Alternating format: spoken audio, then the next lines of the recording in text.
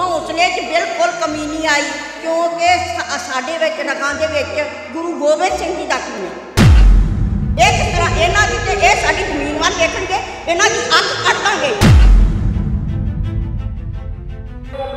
ਇਹ ਇੱਕ ਜਾਣੇ ਦਾ ਕੰਮ ਨਹੀਂ ਆ, ਇਹ ਸਾਰੇ ਜਾਣੇ ਮਿਲ ਕੇ ਮਿਲ ਕੇ ਹਮਲਾ ਮਾਰ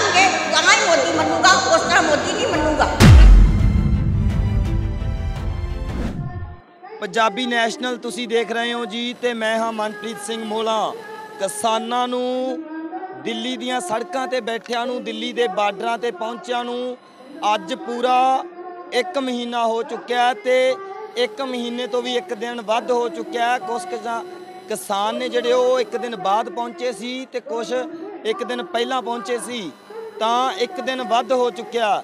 ਤੇ ਕਿਸਾਨਾਂ ਦੇ ਹੌਸਲੇ ਤੁਸੀਂ ਦੇਖ ਸਕਦੇ ਹੋ, ਦੂਰ ਤੱਕ ਪੰਡਾਲ ਹੈ ਜਿਹੜੇ ਜਿਹੜੇ ਭਰੇ ਹੋਏ ਨੇ, ਕਿਸਾਨਾਂ ਦੇ ਨਾਲ ਗਿਣਤੀ ਵਧਣੀ ਸ਼ੁਰੂ ਹੋਈ ਹੈ। ਦੋ ਕਿਸਾਨ ਜਾਂਦੇ ਨੇ, ਦੋ ਲੋਕ ਅਗਰ ਜਾਂਦੇ ਨੇ, ਤਾਂ ਪੰਜਾਬ ਦੇ ਵਿੱਚੋਂ 10 ਲੋਕ ਜਿਹੜਾ ਹੋਰ ਸੰਘਰਸ਼ ਦੇ ਵਿੱਚ ਪਹੁੰਚਦੇ ਨੇ। ਸਾਡੇ ਨਾਲ ਮਾਤਾ ਜੀ ਮੌਜੂਦ ਨੇ। ਇਹਨਾਂ ਦੇ ਨਾਲ ਗੱਲਬਾਤ ਕਰਦੇ ਆ ਮਾਤਾ ਜੀ, ਸਤਿ ਸ਼੍ਰੀ ਅਕਾਲ ਜੀ। ਵਾਹਿਗੁਰੂ ਜੀ ਕਾ ਖਾਲਸਾ, ਵਾਹਿਗੁਰੂ ਜੀ ਕੀ ਫਤਿਹ। ਮਾਤਾ ਜੀ, ਅੱਜ ਪੂਰਾ 1 ਮਹੀਨਾ ਹੋ ਗਿਆ। ਪਹਿਲੇ ਦਿਨ ਚ ਤੇ ਅੱਜ ਚ ਕੀ ਫ਼ਰਕ ਲੱਗਿਆ ਤੁਹਾਨੂੰ? ਅੱਜ ਦੇ ਦਿਨ 'ਚ ਤੇ ਪਹਿਲੇ ਦਿਨ 'ਚ ਮਤਲਬ ਪਹਿਲਿਆਂ ਦਿਨਾਂ 'ਚ ਬਹੁਤ ਜ਼ਿਆਦਾ ਫ਼ਰਕ ਆ। ਪਹਿਲੋਂ ਮਤਲਬ ਇੰਨੀ, ਪਹਿਲੋਂ ਆਦਮੀ ਆਦਮੀ ਆਉਂਦੇ ਸੀ, ਜ਼ਿਆਦਾ ਆਉਂਦੇ ਸੀ ਆਦਮੀ। ਹੁਣ ਜਨਾਨੀਆਂ ਦੀ ਇੰਨੀ ਪਰਮਾਰ ਆ ਕਿ ਮਤਲਬ ਟਰਾਲੀਆਂ ਭਰ ਭਰ ਕੇ ਆਉਣ ਡਈਆਂ ਵਾ। ਇੱਥੇ ਮਤਲਬ ਜਿਹੜੇ ਆਈਆਂ ਜਨਾਨੀਆਂ, ਅਸੀਂ ਪਹਿਲੋਂ ਦੀਆਂ ਆਈਆਂ ਹੀ ਆ ਅਸੀਂ ਫੋਨ ਵੀ ਕਰਦੇ ਉਹਨਾਂ ਨੂੰ ਕਿ ਮਤਲਬ ਜਲਦੀ ਜਲਦੀ ਆ ਜਾਓ ਇੱਥੇ ਕੋਈ ਮੁਸ਼ਕਲ ਨਹੀਂ। ਜਨਾਨੀਆਂ ਨੂੰ ਪਹਿਲਾਂ ਇਹ ਲੱਗਦਾ ਸੀ ਕਿ ਸਾਨੂੰ ਮੁਸ਼ਕਲ ਹੋਊਗੀ ਉੱਥੇ। ਸਾਨੂੰ ਨਾ ਇੱਥੇ ਬਾਥਰੂਮ ਦੀ ਨਾ ਕੋਈ ਕਿਸੇ ਚੀਜ਼ ਦੀ ਮੁਸ਼ਕਲ ਨਹੀਂ ਹੈਗੀ। ਖਾਣ ਪੀਣ ਦੀ ਕੋਈ ਕਮੀ ਨਹੀਂ ਹੈਗੀ। ਮਤਲਬ ਕਿਸੇ ਵੀ ਰਹਿ ਬਹਿਣ ਦੀ ਕੋਈ ਕਮੀ ਨਹੀਂ। ਤੇ ਹੌਸਲੇ 'ਚ ਕੋਈ ਕਮੀ ਆਈ ਹੈ ਜੀ? ਠੰਡ ਵੀ ਵਧੀ ਹੈ।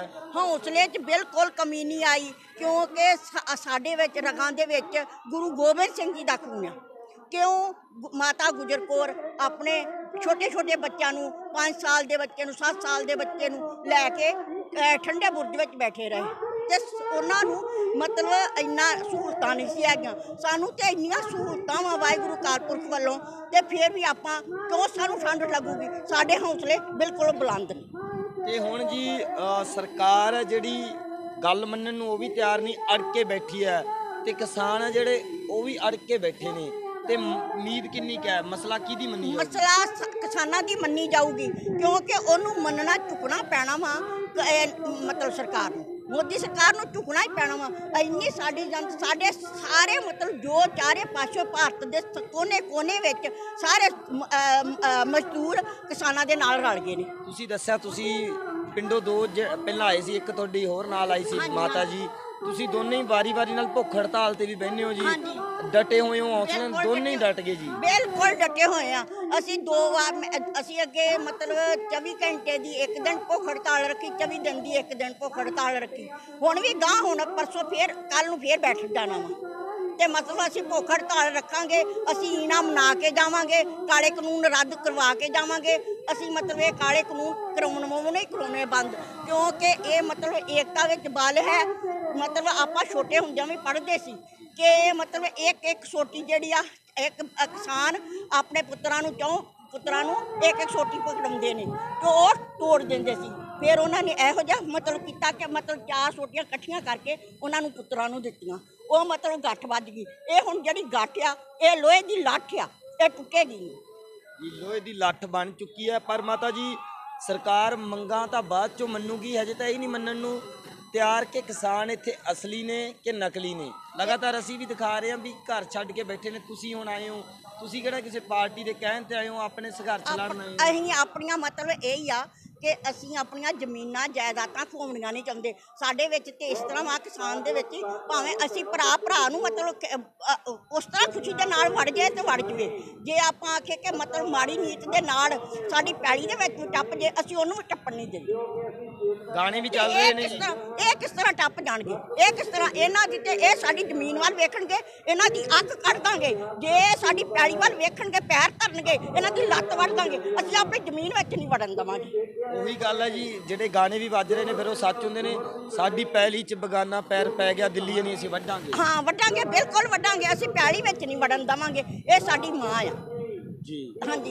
ਇਹ ਇਸੇ ਤਰ੍ਹਾਂ ਮਤਲਬ ਇਹ ਛੋਟਾ ਜਿਹਾ ਮਤਲਬ ਕਥਾ ਜਾਂ ਮਤਲਬ ਕਹਾਣੀ ਹੈ ਜਿਸ ਤਰ੍ਹਾਂ ਆਪਾਂ ਪੰਜਾਬੀ ਵੀ ਪੰਜਾਬੀ ਦੀ ਕਹਾਣੀ ਵੀ ਨਹੀਂ ਹੈ ਸੱਚੀ ਮਤਲਬ ਗੱਲ ਹੈ ਜਿਸ ਤਰ੍ਹਾਂ ਆਪਾਂ ਮੱਸਿਆ ਮੇਲੇ ਵਿੱਚ ਜਾਂਦੇ ਆ ਤੇ ਸਾਡਾ ਬੱਚਾ ਮਤਲਬ ਇੱਧਰ ਉੱਧਰ ਘੁੰਮ ਜਾਂਦਾ ਸਾਡੀ ਉਂਗਲੀ ਛੱਡ ਜਾਂਦਾ ਵਾ। ਉਸ ਬੱਚੇ ਨੂੰ ਮਤਲਬ ਜਿਹੜੇ ਅਮੀਰ ਅਮੀਰ ਵੀ ਆਦਮੀ ਆ ਨਾ, ਉਹ ਕਹਿਣਗੇ ਤੈਨੂੰ ਜਹਾਜ਼ ਲੈ ਜਾਈਏ। ਤੈਨੂੰ ਮਤਲਬ ਕੋਈ ਆਹ ਚੀਜ਼ ਲੈ ਜਾਈਏ ਤੈਨੂੰ ਖਾਣ ਨੂੰ ਦੇਈਏ। ਪਰ ਬੱਚਾ ਕਹੂਗਾ ਕਿ ਨਹੀਂ, ਮੈਂ ਕੋਈ ਚੀਜ਼ ਨਹੀਂ ਲੈਣੀ। ਮੈਂ ਤਾਂ ਆਪਣੀ ਮਾਂ ਲੈਣੀ ਆ। ਇਹ ਸਾਡੀ ਜਿਹੜੀ ਧਰਤੀ ਆ, ਇਹ ਸਾਡੀ ਮਾਂ ਆ। ਉਹ ਸਾਨੂੰ ਖਾਣ ਨੂੰ ਦਿੰਦੀ ਆ। ਹੈ? ਇਹਨਾਂ ਨੇ ਤਾਂ ਪਹਿਲਾਂ ਹੀ ਬੜੇ ਕਰਜ਼ੇ ਚੜਾਏ ਹੋਏ ਨੇ। ਤੇ ਇਹ ਹੁਣ ਸਾਡੀ ਮਾਂ ਆ, ਇਹ ਅਸੀਂ ਲੈ ਕੇ ਰਵਾਂਗੇ। ਅਸੀਂ ਹੱਕ ਆਪਣੇ ਹੱਕ ਅਸੀਂ ਲੈਣੇ ਆ। ਮਸਲਾ ਜ਼ਮੀਨ ਦਾ ਰਹਿ ਹੀ ਨਹੀਂ ਗਿਆ। ਜ਼ਮੀਨ ਨੂੰ ਮਾਂ ਮੰਨਦੇ ਨੇ ਕਿਸਾਨ। ਮਸਲਾ ਇਹ ਹੈ ਕਿ ਅਸੀਂ ਮਾਂ ਆਪਦੀ ਕਿਵੇਂ ਜਾਣ ਦੇਈਏ? ਹਾਂ ਹਾਂ, ਆਪਾਂ ਜਾਨ ਦੇ ਦਾਂਗੇ। ਆਪਣੀ ਪਰ ਆਪਾਂ ਮਾਂ ਨੂੰ ਇਹਨਾਂ ਦੇ ਹੱਥਾਂ ਵਿੱਚ ਨਹੀਂ ਆਉਣ ਦੇਵਾਂਗੇ। ਜਿਸ ਤਰ੍ਹਾਂ ਵੀ ਇਹ ਕਾਲੇ ਕਾਨੂੰਨ ਇਹਨਾਂ ਨੂੰ ਰੱਦ ਕਰਨੇ ਪੈਣਗੇ ਕਾਲੇ ਕਾਨੂੰਨ ਰੱਦ ਕਰਨੇ ਹੀ ਪੈਣਗੇ। ਤੇ ਆਖਰ ਦੇ ਵਿੱਚ ਸਰਕਾਰ ਨੂੰ ਕੀ ਸੁਨੇਹਾ ਦੇਣਾ ਚਾਹੁੰਦੇ ਹੋ? ਸਰਕਾਰ ਤੋਂ ਕੀ ਮੰਗਾਂ ਆਪਣੀਆਂ ਰੱਖਣੀਆਂ ਚਾਹੁੰਦੇ ਹੋ?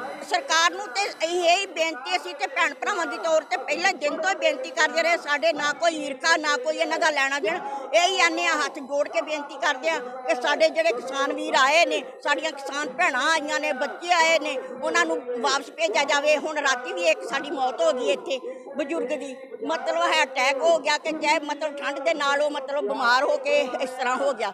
40 45 ਮੌਤਾਂ ਹੋ ਗਈਆਂ ਨੇ। ਇਹ ਮਤਲਬ ਗਲਤ ਕੰਮ ਹੋਣ ਡਿਆ ਵਾ। ਇਹਨੂੰ ਪਹਿਲਾਂ ਹੀ ਮਤਲਬ ਸਾਡਾ ਫੈਸਲਾ ਕਰ ਦੇਣਾ ਚਾਹੀਦਾ ਸੀ। ਜੇ ਹੁਣ ਵੀ ਅੱਜ- ਅੱਗੇ ਆਨੇ ਆ ਹੁਣ ਵੀ ਆ ਜਾਵੇ। ਹੁਣ ਵੀ ਸਾਡਾ ਫੈਸਲਾ ਮਤਲਬ ਸਾਡੇ ਕਾਲੇ ਕਾਨੂੰਨ ਰੱਦ ਕਰ ਦੇਵੇ। ਤਾਂ ਮਾਤਾ ਜੀ, ਲਗਾਤਾਰ ਇਹੀ ਅਪੀਲ ਹੈ ਕਿਸਾਨਾਂ ਦੀ ਤਾਂ, ਜਿਹੜੇ ਕਾਨੂੰਨ ਰੱਦ ਕਰੋ। ਪਰ ਮੇਰਾ ਇੱਕ ਸਵਾਲ ਰਹਿ ਗਿਆ ਸੀਗਾ ਵੀ ਜਦੋਂ ਅਕਸਰ ਬਹੁਤ ਸਾਰੇ ਬਜ਼ੁਰਗ ਹੋਣੇ ਸ਼ੁਰੂ ਹੋ ਗਏ, ਮਤਾਵਾਂ ਤੁਸੀਂ ਦੱਸਿਆ ਆਉਣੀਆਂ ਸ਼ੁਰੂ ਹੋ ਗਈਆਂ। ਤੁਹਾਨੂੰ ਵੀ ਘਰ ਦੇ ਬੱਚਿਆਂ ਨੇ ਨਹੀਂ ਕਿਹਾ ਵੀ ਨਾ ਜਾਓ, ਤੁਸੀਂ ਘਰੇ ਬੈਠੋ, ਆਪਾਂ ਕੀ ਲੈਣਾ ਜੀ? ਨਹੀਂ, ਬੱਚੇ ਬਿਲਕੁਲ ਸਾਨੂੰ ਇਹ ਨਹੀਂ ਕਹਿੰਦੇ, ਸਾਡੇ ਬੱਚੇ ਬਾਹਰ ਵੀ ਗਏ ਹੋਏ ਨੇ।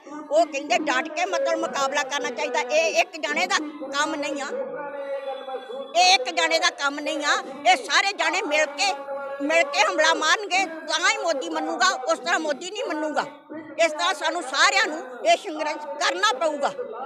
ਇਹ ਅਸੀਂ ਮਤਲਬ ਸਾਡੇ ਬੱਚੇ ਵੀ ਸਾਰੇ ਸਾਡੇ ਹਸਬੈਂਡ ਵੀ ਆ ਉਹ ਵੀ ਕਹਿੰਦੇ ਕਿ ਤੁਸੀਂ ਇੱਥੇ ਡਟ ਕੇ ਰਹਿਣਾ ਵਾ ਅਸੀਂ ਵੀ ਆ ਰਹੇ ਹਾਂ। ਹੁਣ ਬਜ਼ੁਰਗਾਂ ਨੇ ਤਾਂ ਇਹ ਕਹਿਤਾ ਨਾਲੇ ਜੀ ਵੀ ਪਹਿਲਾਂ ਤਾਂ ਅਸੀਂ ਇਕੱਲੇ ਹੀ ਮਾਨ ਨਹੀਂ ਹੁੰਦੇ ਸੀ ਤਗੜੇ ਸੀਗੇ ਲੜਨ ਨੂੰ। ਹਾਂਜੀ। ਹੁਣ ਤਾਂ ਸਾਡੇ ਨਾਲ ਨੌਜਵਾਨ ਆ ਗਏ 30 ਸਾਲਾਂ ਬਾਅਦ। ਕੱਲ ਸਾਡੀਆਂ ਅਹ, 500 ਟਰਾਲੀ ਆਈ ਆ ਸਾਡੇ ਇੱਥੇ।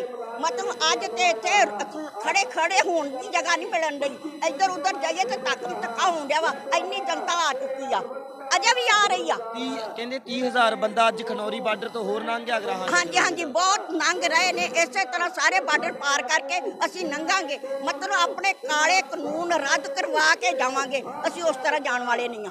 ਤਾਂ ਜੀ ਤੁਸੀਂ ਦੇਖ ਲਓ ਸਰਕਾਰ ਚਾਹੇ ਜੋ ਮਰਜ਼ੀ ਸੋਚ ਰਹੀ ਹੋਵੇ ਪਰ ਸੰਘਰਸ਼ ਤੇ ਬੈਠੇ ਬੰਦੇ ਉਹੀ ਸੋਚ ਰਹੇ ਨੇ ਜੋ ਪਹਿਲੇ ਦਿਨ ਸੋਚ ਰਹੇ ਸੀ ਕਿ ਅਸੀਂ ਜਿਹੜੇ ਤਿੰਨੋਂ ਕਾਨੂੰਨ ਆ ਉਹ ਰੱਦ ਕਰਵਾ ਕੇ ਹੀ ਘਰਾਂ ਨੂੰ ਪਰਤਣਾ ਹੈ। ਤੇ ਨਾਲ ਦੀ ਨਾਲ ਹੌਸਲਾ ਵੀ ਬਹੁਤ ਵਧਿਆ ਤੇ ਲਗਾਤਾਰ ਆਪਣਾ ਯੋਗਦਾਨ ਦੇ ਰਹੇ ਨੇ ਤੇ ਡਟੇ ਹੋਏ ਨੇ ਤੇ ਹੋਰ ਵੀ ਗਿਣਤੀ ਆ ਜਿਹੜੀ ਸੰਘਰਸ਼ ਦੀ, ਉਹ ਵੱਧ ਰਹੀ ਆ। ਇਹ ਨਹੀਂ ਕਿ ਸੰਘਰਸ਼ ਥੱਕ ਗਿਆ ਜਿਵੇਂ ਜਿਵੇਂ ਸੰਘਰਸ਼ ਲੰਮਾ ਹੁੰਦਾ ਜਾ ਰਿਹਾ ਜਿਵੇਂ ਜਿਵੇਂ ਅੰਦੋਲਨ ਲੰਬਾ ਹੁੰਦਾ ਜਾ ਰਿਹਾ, ਉਵੇਂ ਹੀ ਇਸ ਦਾ ਕਲਾਵਾ ਜਿਹੜਾ ਦਿਨੋਂ ਦਿਨ ਵੱਡਾ ਹੁੰਦਾ ਜਾ ਰਿਹਾ। ਸੰਘਰਸ਼ ਦਾ ਹਰ ਪੱਖ ਅਸੀਂ ਤੁਹਾਡੇ ਤੱਕ ਲੈ ਕੇ ਆਵਾਂਗੇ। ਤੁਸੀਂ ਬਣੇ ਰਹਿਣਾ ਪੰਜਾਬੀ ਨੈਸ਼ਨਲ ਟੀਵੀ ਦੇ ਨਾਲ। ਧੰਨਵਾਦ ਮਾਤਾ ਜੀ। Thank you.